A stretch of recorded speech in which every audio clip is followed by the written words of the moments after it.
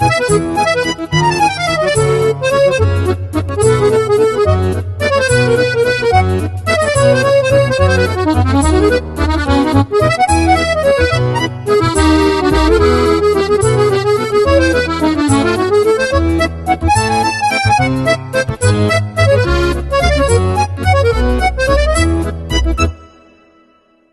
So, we've recently been working outside a lot on the pool, on the stable roof, and um, it's been quite hard work. It's quite depressing. It's been raining. Uh, so, we thought we'd show you a nice interior video. And this one is of what we call, very imaginatively, the pink room. Um, it used to be an old storeroom. Uh, I think the previous owner had it as like a dressing room, which was quite nice. And this was our very first bedroom. We were sleeping on the floor. It was a bit grim. But yeah, I'm going to show you how this room has been transformed.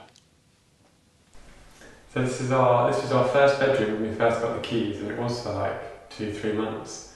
So it's quite nice to be able to do this while you get a little lift, isn't it? Mm, yeah, I mean, I've got to actually crack on with a project in the orangery. I'm trying to render one of the planters. So I'll probably have to leave you to your own devices on this. But what, what's the plan colour-wise? Uh, this one is called Fitzrovia. It's like an off white, kind of pastel pink colour, really subtle. Nice. Is that another Mylands paint? Of course, yeah, beautiful depth and colour. Um, and it should be really calming for quite a. It's not a small room, is it? But it's one of our smaller ones. What's so weird is it used to have kind of all of these giant wardrobes in. Oh yeah, um, huge, aren't they? Yeah, massive. It came kind of all the way out and all the way around, and she used it as a dressing room. So we ended up having to put our beds in front of the cupboards over there. Um, but now you've cut cut the uh, the wardrobes out, it's amazing how big it looks. Yeah, and there's this random. What would you call it? I think it used to be like a window onto the corridor. Yeah, I think this was an office at some point. So, mm, yeah, maybe. Who knows? But we need to cover it. So I'm hoping we can just find a big picture or a, a mirror to cover it rather yeah, than having to plasterboard it. easier than yeah taking the window out and plasterboarding it. But yeah, I'm really looking forward to getting cracking. And as you can see, we tried lots of different pastel colours, didn't we? Which one's been through yet? The this yeah, one. Really subtle. But then when the whole room's done, I think it would be really warm and inviting and cosy mm. and tranquil. And we're going to put curtains in here as well. Lucky curtains up, yeah. yeah. It'd be nice. Oh, I can't wait to have another room finished. I know, it's bedroom three, isn't it? Yeah, yeah. Better get cracking. Alright, I'll leave you to it. But give me a shout if you need a hand.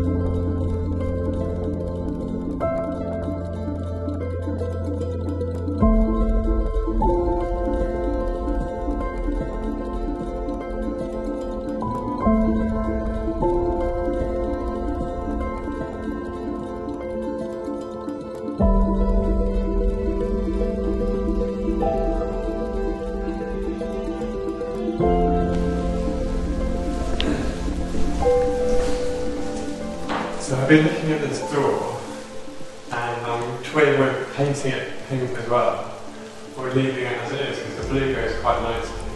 The radiator is also blue, and painting the radiator will be a lot of work, and I haven't got spray gun handy, so I think about leaving it. But the whole time I was painting this room, I was thinking, oh, I think like that bit there should also be pink, so it looks like a bigger, bolder border. So I think I'm going to do it think it was like, uh, and then we'll see what the door looks like afterwards. Yeah.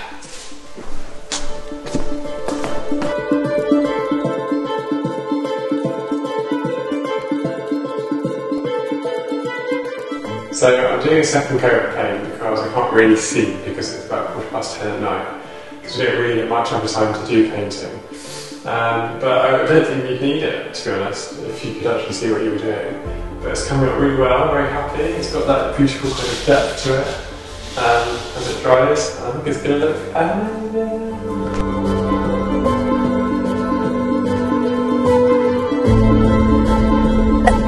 Yeah, what else are we planning? So there's that, um, what do you call it? Some electrics for like an overhead light thing. So we need to get a big picture. trying for- to find like you can get incredible bargains in Brocante, but trying to find something to fit a specific size is quite Very challenging. difficult. So, So I have bought this picture online, which is actually a Jules Verne from around the same era as the chateau.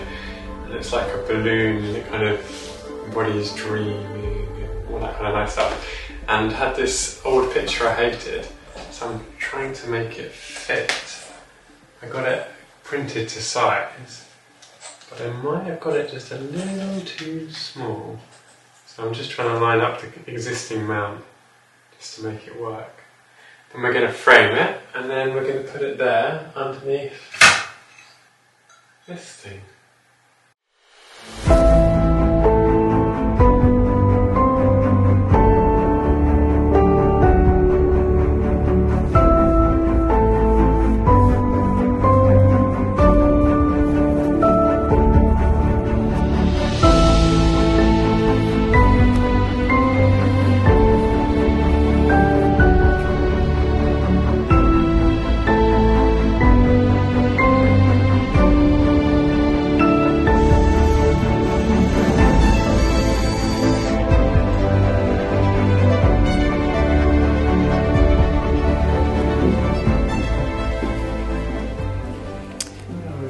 Going on here? Hi, I'm on camera. um, I'm, I'd like to replace this light with that light because the other two lights don't work. We got it from a requirement, I think it's just dodgy. And I feel this will be just a bit more cute, simple. And then the other thing, I want to hang those two pictures either side of that, but as you know, I hate hanging pictures solo because I like to be able to check the levels and check it's symmetrical. So you need my help. Okay. I like this lamp. I just worry there's just not going to be enough light in here. I know we've got the um, the picture the light that you've you put up, and I guess we've got the bedside lights as well. But Yeah, this one's quite bright and it's all glass. is it? Okay. Oh. Yeah, I sort of feel like once this room gets curtains, it will come alive. I'm still tempted to put in a uh, cornice as well. No more soon. okay, Maybe in due course. Maybe that could be next year or something. let's just let it settle. Yeah. Yeah. Okay. Well, I'll go and get my uh, spirit level.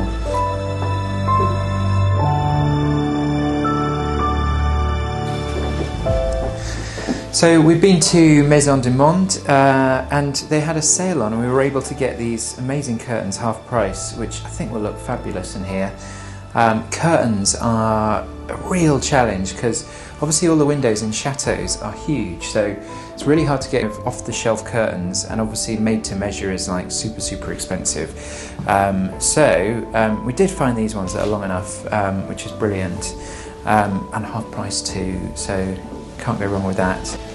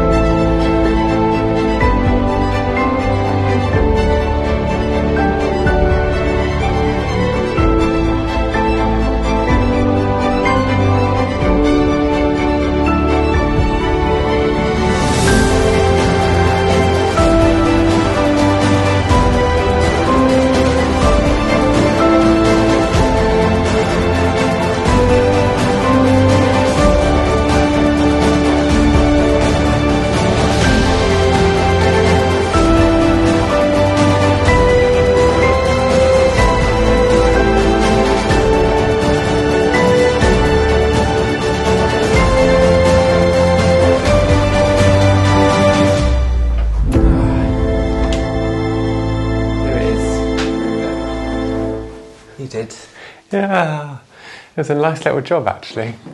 you've done a really great job. I mean, so much in here that you've done whilst I, I, I don't really know what I was doing. You're very busy doing things, yeah, those things that I do. probably making these videos. I did sort of replaster the the orangery planter, which was quite a big job in the end. Yeah. Um, I'll be able to uh, do another video on that at some point. But oh, how do you feel? It looks great, doesn't it? Really look really good. It, I don't know how well it's going to show up on camera, but this is like a really soft, dusty pink.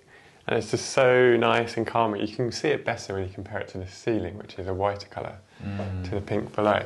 But it's a really lovely colour. Gives it a real warmth.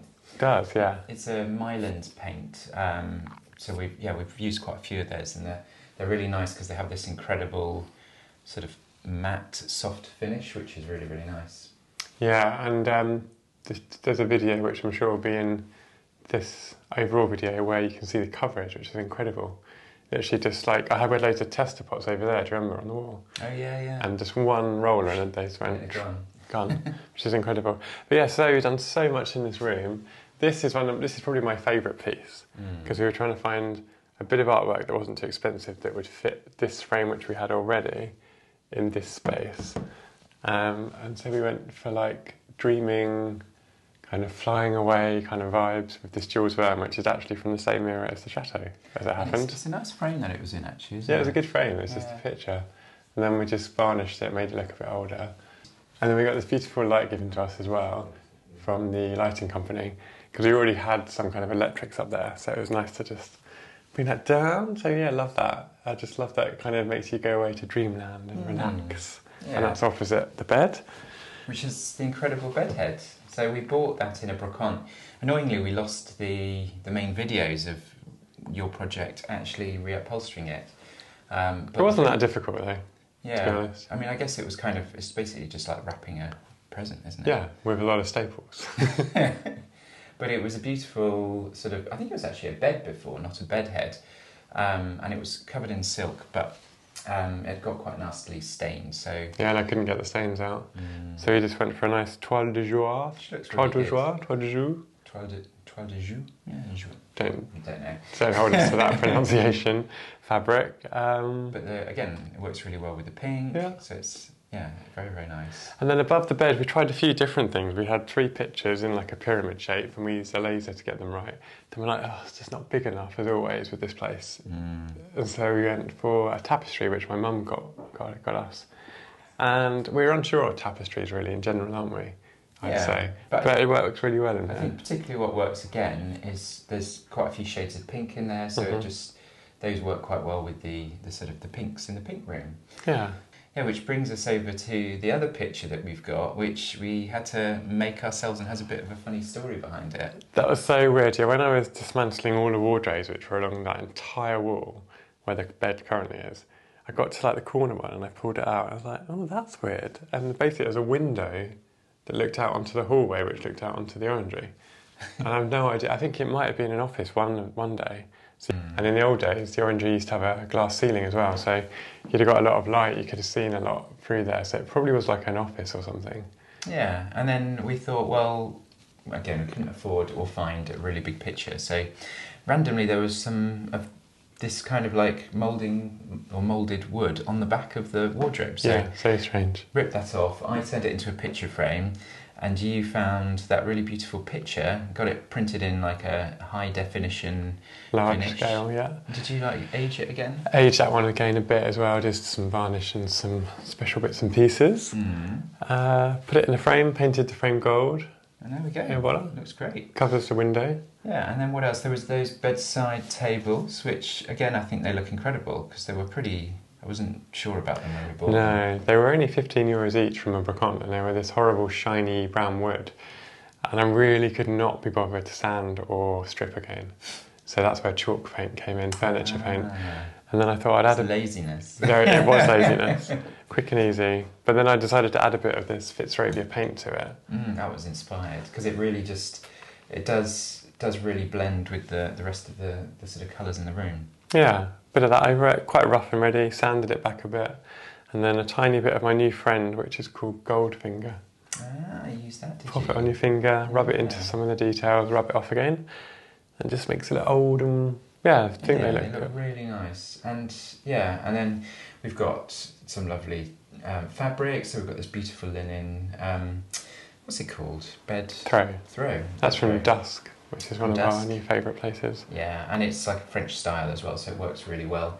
And the curtains from Maison du Monde, so those were a really good find because we, we found them in the sale, which is uh, was so lucky because it's been really hard finding curtains the right size, hasn't it? It has, yeah, I like to get the length, but those were almost perfect length. The trouble was they had the ringlets, which I'm not really a fan of, because they kind of clank and rattle and that, and they don't really look very oldie worldy. So we just folded them over, used these crocodile clips that are on a, a ring that glide over the rail. And that's it, and then they kind of gave them a new lease of life.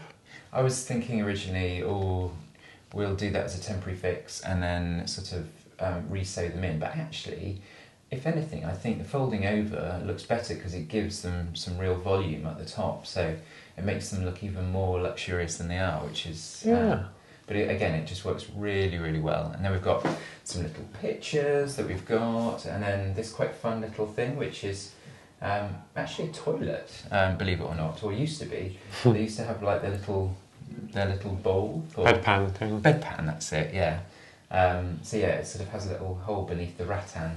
Um, it's quite a nice finish. Yeah, we gave it a good clean though, don't worry. and it's got a beautiful Sarah Miller um, cushion on, which we love her designs and patterns. Again with the matching pinks. So Pinks in there. Yeah.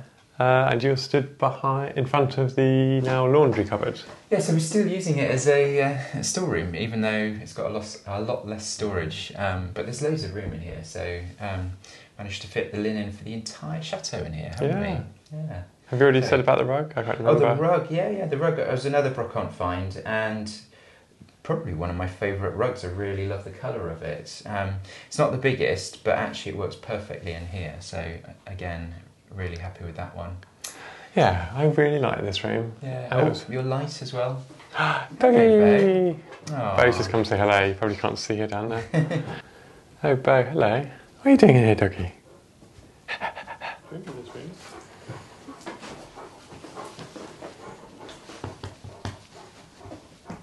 Do you remember this room? Let's go out then. Off you pop. Bye bye. no, she's staying. So yeah, I really enjoyed doing this room actually. It was a quick, easy win once the wardrobes are out. Um, good transformation. It's nice to just have little victories as well because it's been quite hard work with the, the, the stable roof and with the pool. And so to have sort of some real tangible progress is quite nice. And again, it sort of feels like we're putting our impression on the place, which just makes it feel more like home, doesn't it? Yeah, it does. Yeah. Also, for me, I'm normally, I'd say, 90% person who likes really dark and moody colours. Mm. So it's quite a novel for me to actually try and use quite a light colour. Are you coming and- round? And I am coming round. I still prefer the dark colours, but it just works really well in here. It, yeah, it just depends what sort of room that you're using. And I remember watching this um, this program about light at different times of the day, and I think that can be really instructive because um, often the rooms that get the light in the morning, you want to be sort of light, so that in the morning they kind of they glow, and then the rooms that you're in in the evening uh, are ones that you want to have a sort of dark and moody ones because um, those rooms you'll have to light up anyway, and you'll be sort of getting all cozy and snuggly in the evening. So I think kind of there's a way of having like one side of the house as lighter and one side of the house as darker that I think worked quite well. Um, but yeah, no, I love this room. Yeah, it's got fond incredible job. memories as well, hasn't it? Yeah. Yeah, right back from the very first days in the chateau. Anyway, um, so going back to the kind of like steady stream of the more grueling videos, um, next week we'll be popping another video on the next stage of the roofing project where, um, yeah, hopefully things get back on track. So if you're interested in catching up, do click subscribe down below.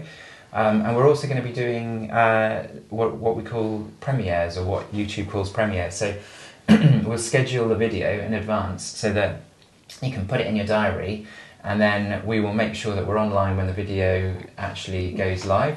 And we can answer some questions and get to know everyone a bit. Yeah, it's just really nice, isn't it? It's, kind Yeah. of, it's a good way to uh, to sort of engage with, with our viewers, which is really nice because sometimes it just feels like there's this big world out there and we've got people following. Um, but if you can't make the premiere, um, please do leave comments down below. Um, and yeah, check us out on Instagram too. Um, but yeah, see you at the next video and hope you can come along for one of the sort of the premieres and then we can have a chat. Bye. bye. bye. I forgot to up. say bye.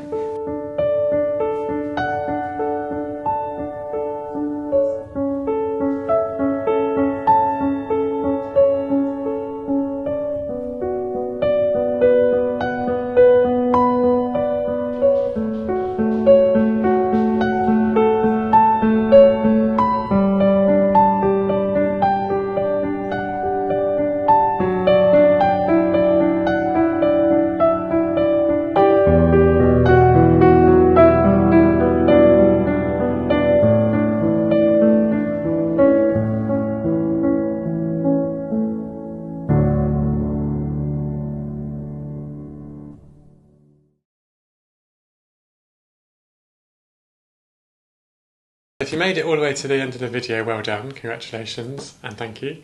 Um, but you could do something else for us. Yeah, it'd be really amazing if you could click like down below. It's just a little button that looks like, I think it's like a bell. Uh, subscribe or share would be even better. That would be so good. Anyway, have a great day and I hope you enjoyed the video. Thanks. Bye.